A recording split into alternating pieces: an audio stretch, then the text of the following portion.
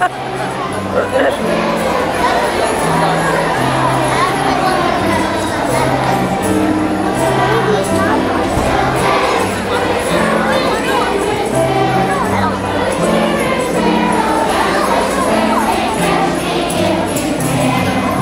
Cat move his arm around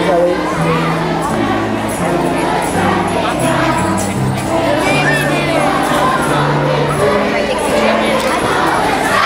I can't.